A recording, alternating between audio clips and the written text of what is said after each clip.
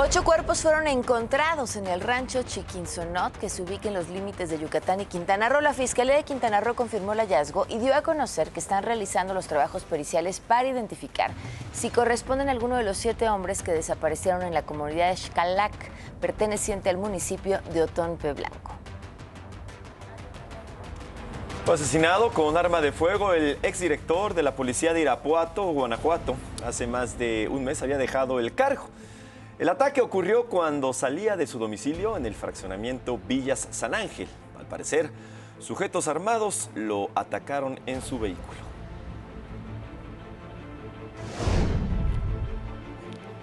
Luego hay que pensar, o se dice, ¿no? Esperemos que los atacantes se encuentren bien.